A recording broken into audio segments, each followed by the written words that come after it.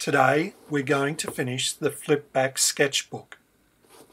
It's a fairly standard case binding except for the wide flap at the front that allows the front board to um, fold around to the back. So that's the main thing that we have to take into consideration in the design. Also the format is a bit different to most books and that's something you just have to be careful with in the construction. Last week we finished up at having glued down the reinforcements onto the outer flyleaf, which will become the paste down. We'll start today by cutting the front and rear boards. Now the grain direction is in the short dimension of the board this time. It's just something to keep in mind. So I'll start by truing up an edge and then cutting them to the correct height. I'm adding 3 millimeter squares. So I measured the height of the text block and then added 2 times 3, 6 millimeters to get 131 millimeters. I'll true up one end on each board, but I won't cut them to length until I join them in the middle and then I'll take the measurement from the text block. But I will shorten these boards. I'll cut them so that uh, they're not unwieldy long, but I'll make them so they're longer than the text block. And then I'll, as I said, trim them to the correct length once we've joined them at the spine. Now's a good time to mark the front and back boards. The book didn't really have a front and back until right now. One of the end papers has a bit of a mark on it, so I made that the the back end paper. Now this book isn't backed, it doesn't have shoulders, but it does have swell. It's rounded and it's got this swell, so it's sort of got a gentle shoulder. So what I've done is just gently sanded uh, or rounded the edge of the rear board that's going to go into that very gentle shoulder. Now we need to determine how wide the wide groove is at the front. So I'm measuring the distance around the spine of the book and it's that flap of material is going to be that distance plus two board thicknesses. So the board is two millimeter board and it's 26 millimeters around the spine so that's 30 millimeters. So I'll mark 30 millimeters from the shoulder this will be where the edge of the board is. Now I want to determine the width of the cloth at the spine. So I want that to extend a quarter of the width of the book. So I measure from the outside of the spine to where the edge of the board will be. I divide that by 4 and then I add 3 millimeters for the overlap between the board paper and the cloth. So now I'm going to put the board in position and then mark that. So that's where the cloth is going to go onto the board. And we want the cloth to go the same distance on the other side. So we put the board in position about a millimeter away from the shoulder and then measure that same distance. Now hopefully that matches up front and back. Now we want to make some measurements. So we need to get the boards in place and then hold them firmly in place and then wrap a strip of paper around the spine and then mark all the locations. So we need to mark where the cloth will go to, where the edge of the boards are, and the shoulder of the spine. And then we can cut the spine cloth, the spine stiffener, and a spacer for positioning the two boards. So we'll start by cutting the spine stiffener, so that's the narrowest strip from shoulder to shoulder of the book. I'll just cut that from some vertically grained manila card.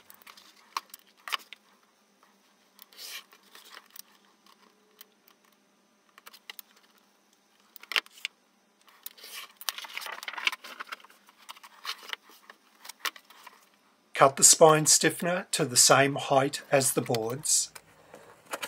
Now we'll cut the spine cloth. We'll make it a bit higher than we need. So we'll do 15 millimeter turn ins, so we need at least 30 millimeters. So make it 50 millimeters extra vertically, but width-wise, it's what we measured on the strip of cloth, which was 116 millimeters.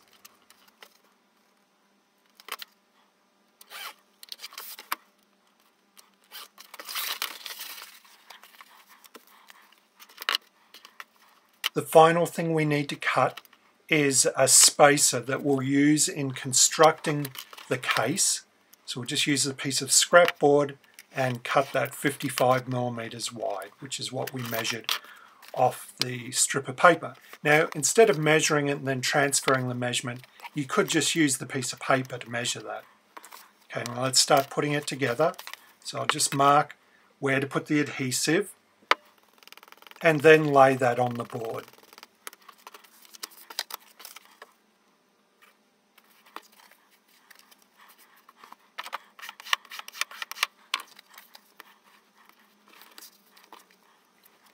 Now we'll attach the second board and that's where the spacer comes in handy. We'll put a ruler along the bottom edge of the board so that we get the two boards aligned. So just glue out the cloth and I put a little bit extra on the board just to make sure it sticks well.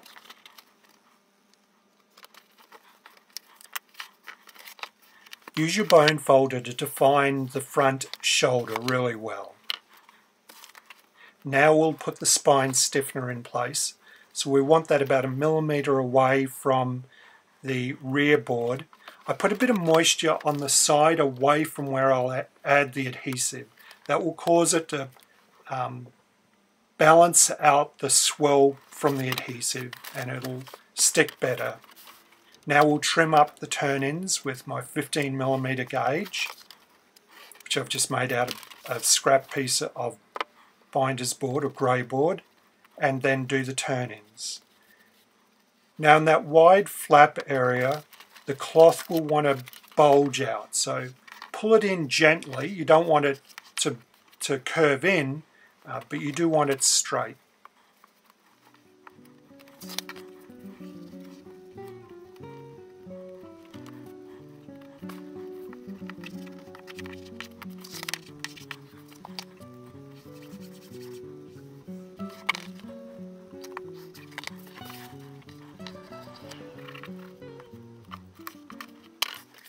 Now we can trim the boards to length. So put the text block in position, push it back into the case and hold it firmly and use your knife to mark the square. So the same three millimeters out from the foredge of the book. Holding it firmly, flip it over and do the same for the front.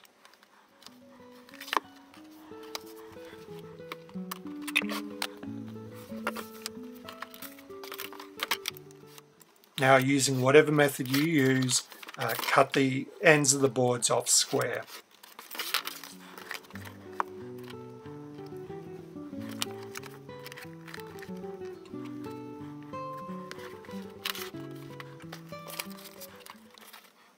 Now we can finish covering the case. So cut a piece of cloth larger than you need or, or um, Decorative paper, if you've got a nice paper that you want to use for the covers, you could use that as well.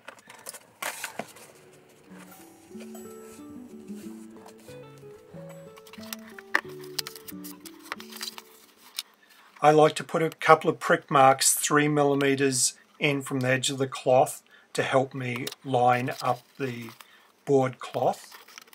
And then I crease the cloth around the edges of the board just so I know where to apply the adhesive.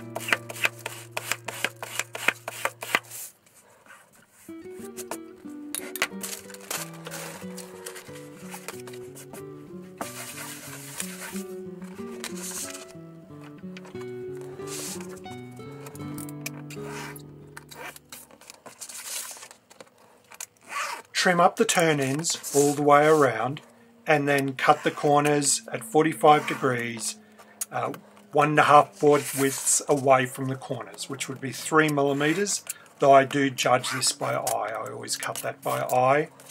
I explain in the video on cloth corners why I cut the corners by eye um, but it's about uh, speed and how speed often improves quality in bookbinding and how there is a bit of forgiveness in this measurement anyway.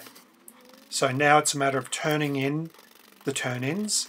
So do head and tail first and then the four edges in the usual way.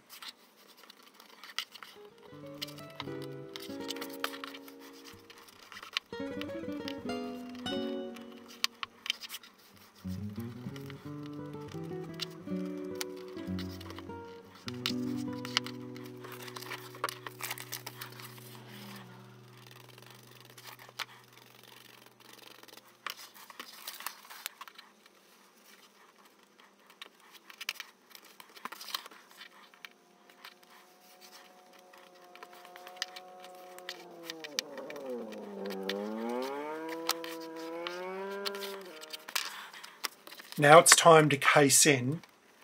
When casing in the standard case-bound book, I tip in the text block at the shoulders with PVA. And this just makes the casing in job much easier. Now there's no shoulders really on this book, but I'm going to use the same technique. I'm just going to use some PVA, a strip of PVA at the spine, and I'll do it for the rear first. So I'll put the text block in position and then I'll let that key in. So I'll give it five minutes and then I'll do the same for the front. Because of the landscape format of this book, it's very easy to get the text block crooked into the case. So this technique uh, just helps with uh, avoiding that. Where I've added the PVA, is where the reinforcing cloth is on the end papers. And that makes it a little easier to uh, pull the, the cover back off if it's not aligned correctly, whereas you can't really do that with paper. So I, I put a piece of card there to push that down nicely with the brick. Now I'm going to trim up these end papers just one millimeter because I do know that they will stretch about a millimeter. So I've just trimmed them off. It's easier to trim them up now than after you've cased in. So now I'm going to case in with paste, uh, just again because you can get these in a bit crooked and it's easier to do something about it if you're using paste instead of PVA. You could use mix as well.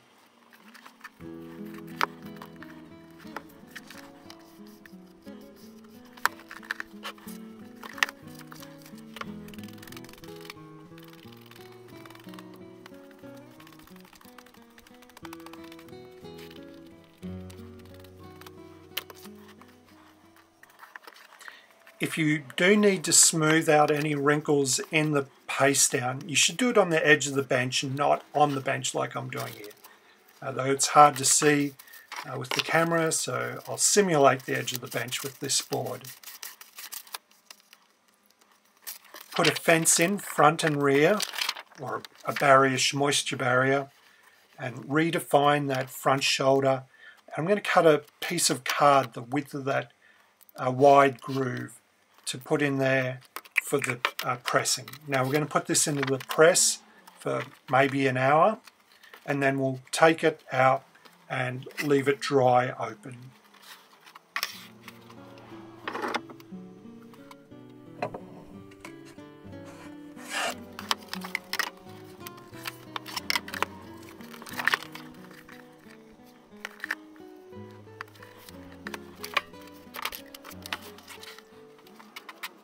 I'll leave it dry open on the bench I'll support the text block with a couple of pieces of scrap board and I'll hold the text block, closed with a bulldog clip.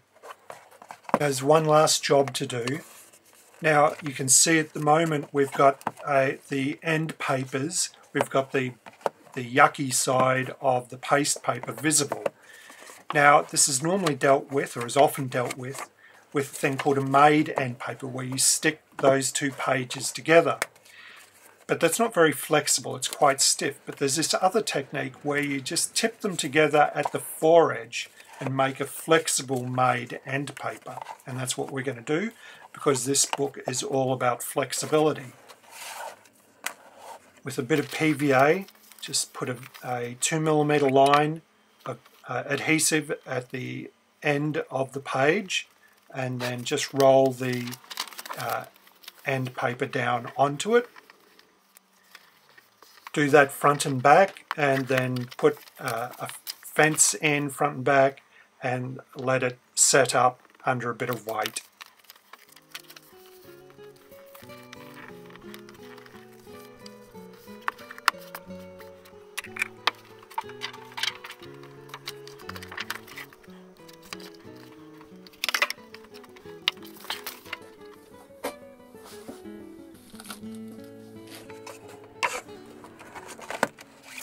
That's the sketchbook done. If you are going to hot foil the front, it's probably best to do that before you case in, but I forgot. But luckily I could, uh, because it folded way back, I could get it into the foiling press. I hope you've enjoyed this project and as always if you have please hit the big thumbs up button and if you want to be notified of my future videos please hit the subscribe button and until next time cheerio